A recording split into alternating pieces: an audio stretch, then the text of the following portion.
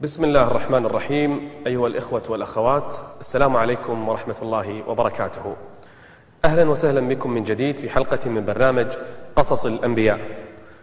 كلنا يذكر في الحلقة الماضية لما تكلمنا عن يوسف عليه السلام كيف أن إخوانه أخذوه من بين أبيه وأمه فرموه في البئر ثم أخذ من البئر وبيع في الأسواق.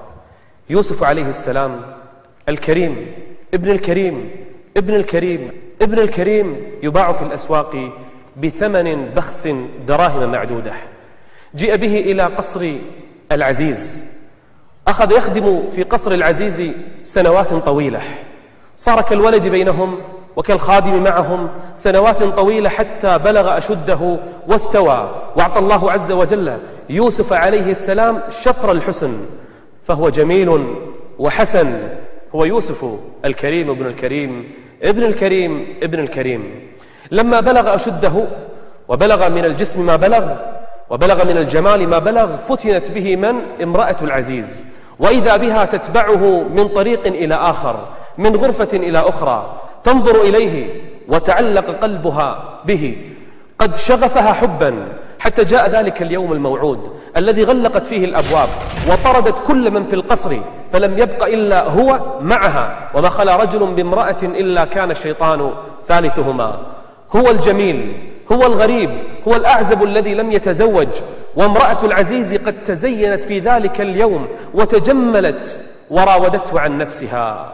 وراودته التي هو في بيتها عن نفسه. وغلقت الأبواب وقالت هيت لك. قالت ليوسف وهو شاب أعزب قوي جميل تقول له امرأة جميلة متزينة متعطرة والقصر مغلق تقول له هيت لك. افعل ما بدا لك يا يوسف. من الذي سيمنع الآن يوسف عليه السلام من أن يرتكب الفاحشة؟ وقالت هيت لك. قال يوسف عليه السلام بكل قوة وجرأة قال معاذ الله معاذ الله أن أرتكب إثما مثل هذا.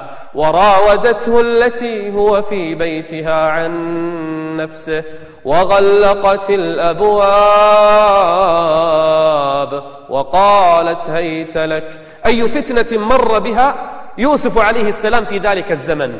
أي فتنة أعظم من هذه الفتنة؟ لشاب جميل غريب أعزب امرأة تدعوه إلى الفاحشة وهو يقول بكل قوة وجرأة معاذ الله إنه ربي أحسن مثواي إنه لا يفلح الظالمون. تجرأت امرأة العزيز واقتربت من يوسف عليه السلام لتعتدي هي عليه لكنه هرب منها ما جلس ينتظرها بل هرب يبحث عن أي باب مفتوح. ولقد همت به وهم بها لولا لولا أن رأى برهان ربه. كذلك لنصرف عنه السوء والفحشاء. إنه من عبادنا المخلصين. ركض يوسف عليه السلام يبحث عن باب مفتوح واستبق الباب وهو تجبذه من قميصه من خلفه لتمزق القميص. ويوسف عليه السلام يسرع إلى باب يفتحه. فلما فتح الباب فإذا بزوج امرأة العزيز قد أقبل إليهما. واستبق الباب وقدت قميصه من دبر وألف يا سيدها لدى الباب. لكنه كيد النساء. قالت ما جزاء من أراد بأهلك سوءا إلا أن يسجن أو عذاب أليم. هي راودته عن نفسها وهي تتهمه بأنه هو الذي أراد بها الفاحشة. أي فتنة نزلت على يوسف عليه السلام؟ يوسف عليه السلام. هو الآن في قصر العزيز والعزيز قد دخل عليه ووجد زوجته عند يوسف والمصيبة أن يوسف بلا قميص وفي أي مكان في غرفة امرأة العزيز وهي تبكي وتصيح وتقول لزوجها اسجنه أو عذبه عذابا أليما فإنه أراد أن يعتدي علي. ماذا سيقول يوسف؟ نظر إليه وإلى زوجته فقال هي راودتني هي راودتني عن نفسي وامرأة العزيز تبكي وصوتها مقدم على صوت يوسف وهي تقول لزوجها ما جزاء من أراد بأهلك سوءا إلا أن يسجن أو عذاب أليم. واحتار العزيز من يصدق. هل يصدق يوسف الصديق الذي لم يكذب أبدا أم يصدق زوجته وهي تبكي عنده خصوصا أن يوسف عليه السلام بلا قميص. هنا تدخل أحد أقرباء زوجة العزيز وقال أنا أفصل لكم بهذه القضية ائتوني بالقميص الممزق فإن كان قد مزق من الأمام فإن يوسف هو المخطئ وإن كان القميص ممزقا من الدبر من الخلف فإن زوجتك هي المخطئة. فأتي بالقميص وتفحص الرجل القميص فوجده ممزقا من الخلف فلما رآه فلما رأى قميصه قد من دبر التفت إلى قريبته زوجة العزيز وقال قال إنه من كيدكن.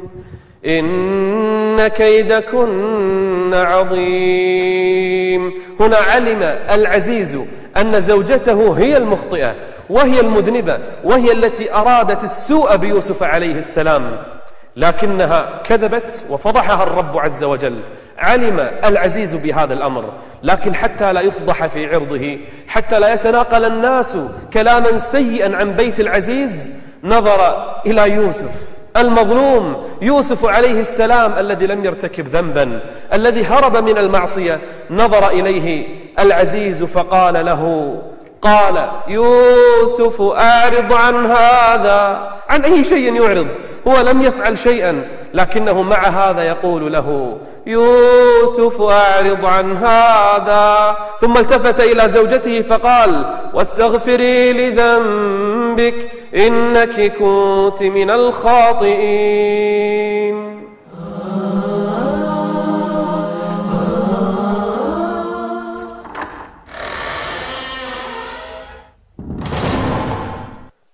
علم يوسف عليه السلام أن النساء يمكرن به. إما السجن وإما أن يفعل ما يغضب الله عز وجل معهن. في هذه اللحظات رفع يوسف عليه السلام يديه إلى السماء فقال قال رب السجن أحب إلي.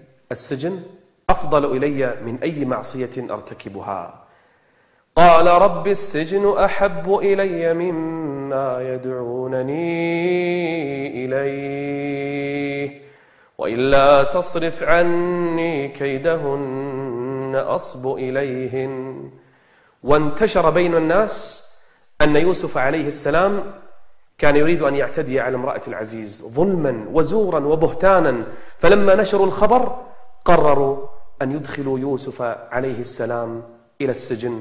وفعلا أدخل يوسف إلى السجن ظلما وزورا وبهتانا. فأدخل يوسف عليه السلام إلى سجن موحش مظلم كئيب. فيه بعض الناس الذين سجنوا فأخذ يصبر هذا ويذكر هذا بالله عز وجل. يوسف الآن في السجن لأنه عف نفسه لأنه عف فرجه لأنه أطاع ربه. ونشر بين الناس أنه هو الذي حاول أن يعتدي على امرأة العزيز. أي ظلم هذا الذي وقع على يوسف عليه السلام. فتيان في السجن يراقبان يوسف عليه السلام. لا يريانه إلا يذكر الله يصلي يعبد الله. أي إنسان هذا؟ رآه أحدهما أنه من المحسنين فجاء إليه فقال يا يوسف إنا رأينا رؤيا هل لك أن تعبرها؟ ودخل معه السجن فتيان. قال أحدهما انظروا إلى الرؤيا التي رآها الأول ثم الثاني وهو في السجن في ذلك المكان الموحش. يستمع إلى الناس. قال أحدهما إني أراني أعصر خمرا. وقال الآخر إني أراني أحمل فوق رأسي خبزا. خبزا تأكل الطير منه. نبئنا بتأويله إنا نراك من المحسنين. سماك في وجهك من المحسنين. أنت إنسان صافي القلب صافي السريرة. لا نراك إلا تذكر الله جل وعلا. عبر لنا هذه الرؤيا. فأخذ يوسف عليه السلام قبل أن يعبر لهما الرؤيا يذكرهما بالله عز وجل.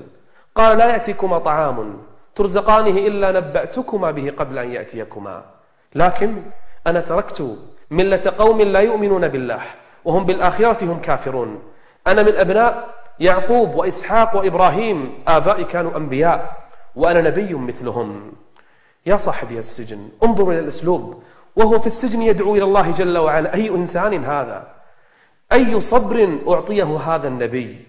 في السجن مظلوم وظل في السجن سنوات وهو يدعو إلى الله جل وعلا. يا صاحبي السجن أأرباب أأرباب متفرقون خير.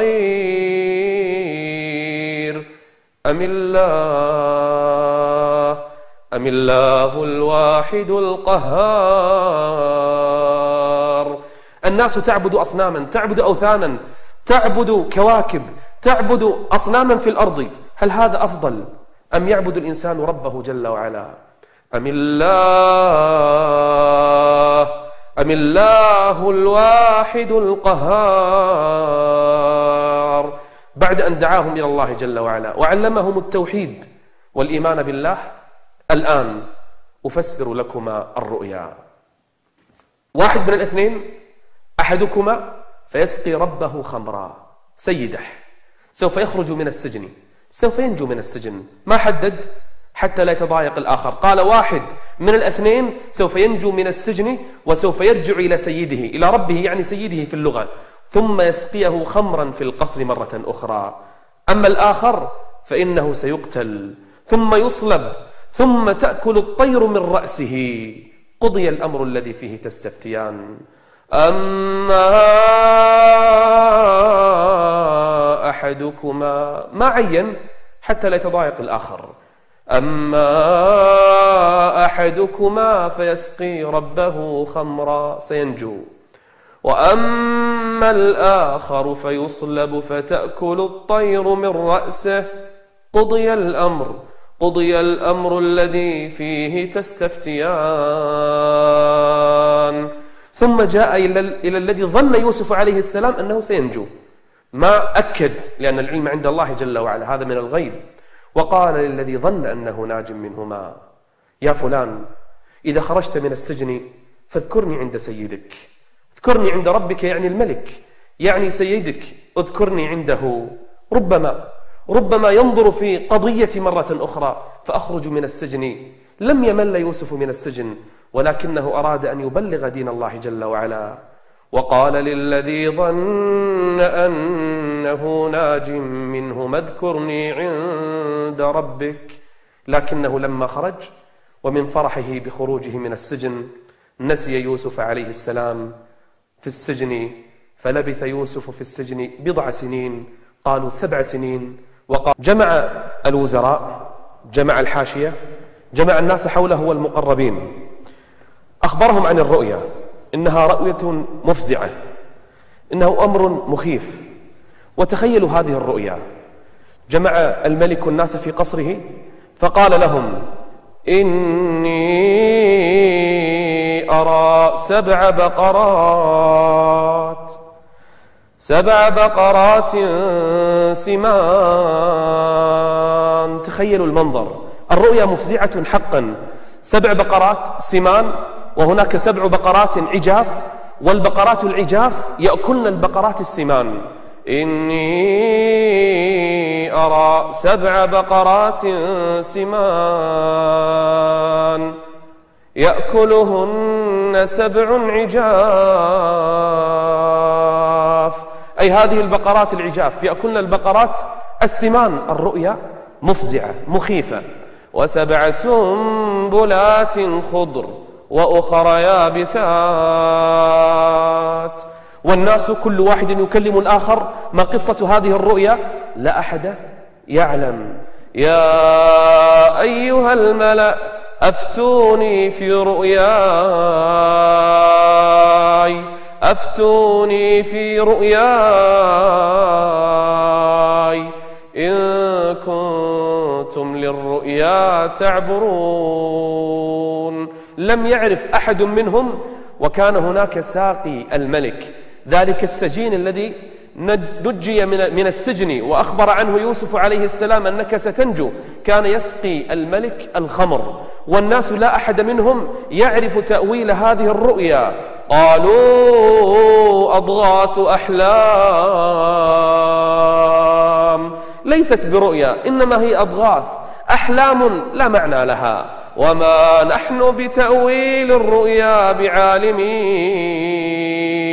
طيب إذا كنتم لستم عالمين لم تقولون أضغاث, أضغاث أحلام؟ إذا كنتم لا تعلمون ما معنى هذه الرؤيا اسكتوا خيرا لكم. هنا تكلم ساقي الملك. هنا تكلم الذي يسقي الملك الخمر. قال أنا أعلم رجلا يفسر لكم هذه الرؤيا.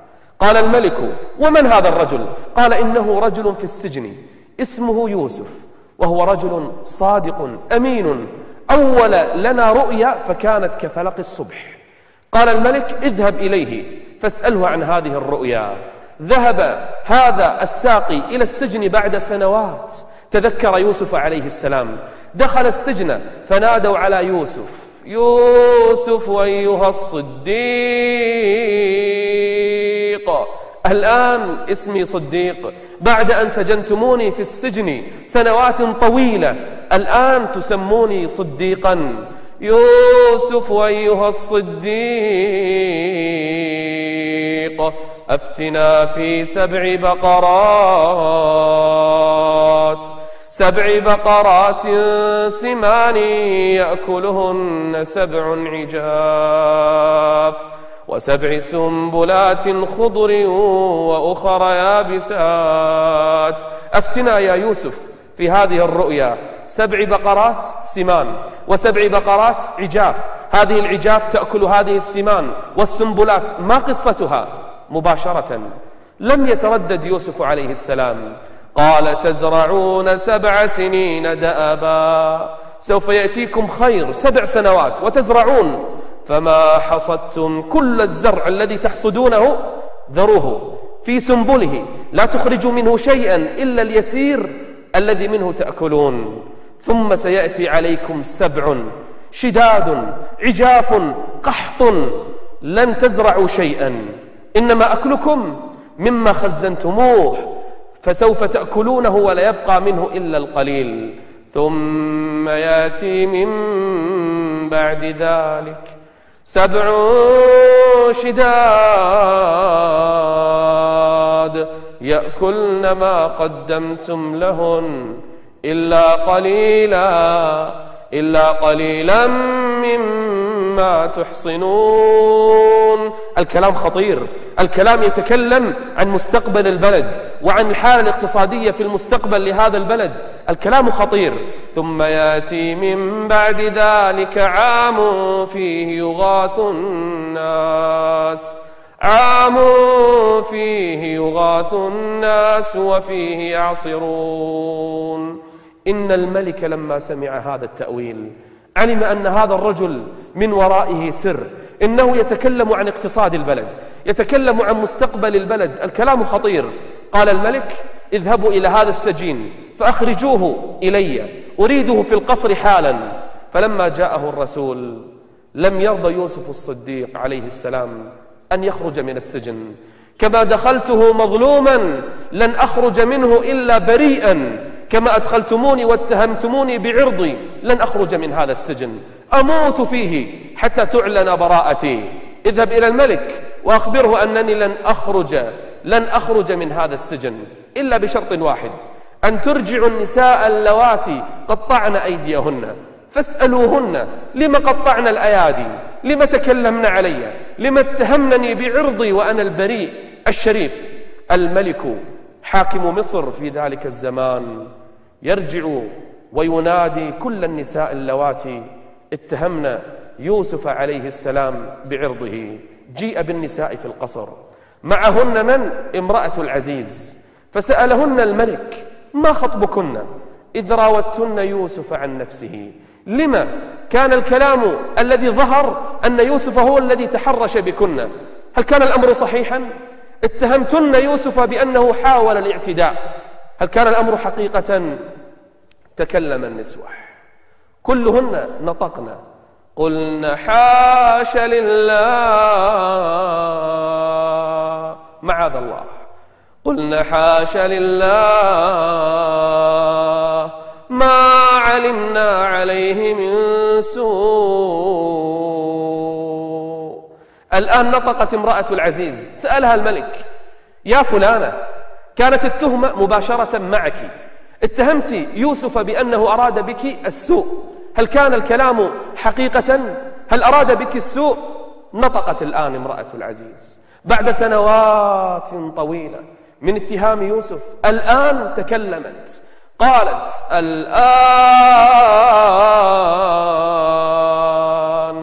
الآن حصحص الحق.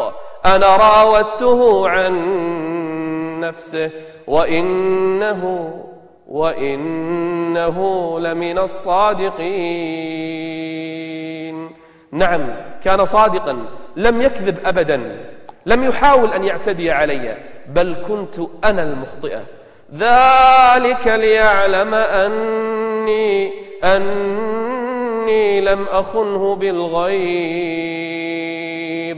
حتى يصله الخبر أنني لما كنت بعيدة عنه لم أكذب عليه بل لم أخنه أبدا. ذلك ليعلم أني أني لم أخنه بالغيب وأن الله لا يهدي كيد الخائنين. الآن جاء الملك بيوسف مرة أخرى إلى قصره فقال له بعد أن سمع خبره وقصصه قال إنك اليوم لدينا مكين أمين. ظهرت براءة يوسف وانتشر الخبر بين الناس أنه أدخل السجن ظلما. جاء الفرج من عند الله عز وجل. إن يوسف الآن بريء وانتشر خبره بين الناس. بدأ الفرج. قال إنك اليوم لدينا مكين أمين. اختر ما بدا لك يا يوسف. قال اجعلني على خزائن الأرض. إني حفيظ عليم. اجعلني وزيرا للمالية. أحفظ بلادكم وأموالكم. إني حفيظ عليم ليعلم الناس على الحكم بشرع الله عز وجل. ما الذي سيحدث الآن؟ صار يوسف بعد أن كان سجينا وحيدا وزيرا في هذه البلاد. ما الذي سيحدث بينه وبين إخوته؟ وهل سيراهم يوم من الأيام؟ وهل سيحصل شيء بين يوسف وبين إخوانه؟ هذا ما سوف نعلمه إن شاء الله في الحلقة المقبلة. حتى نلقاكم أستودعكم الله. والسلام عليكم ورحمة الله وبركاته. قصص نور قصص صار يوسف الآن عزيزا في مصر. قحط جوع ودخلوا على يوسف. تخيلوا كيف كان يعانقه. نحن سارقون. تالله لقد علمتم ما جئنا لنفسد في الأرض. أبونا كبير لا يتحمل فقده. ارجعوا إلى أبيكم فقصوا عليه القصص. بنيامين ابنك قد سرق صواع الملك لن أصدقكم هذه المرة. عمي يعقوب عليه السلام اشتد بكاؤه. ماذا سيفعل الآن بهم يوسف عليه السلام؟ هل سينتقم منهم؟ هل سيفعل بهم ما يفعل؟ وألقوا القميص على أبي. أشم رائحة يوسف. يا أبانا استغفر لنا ذنوبنا. ضم أمه وأباه وقربهما إلى العرش. الآن يا أبي إنها الرؤيا تحققت. لم ينسب لإخوته أي جريمة أو تهم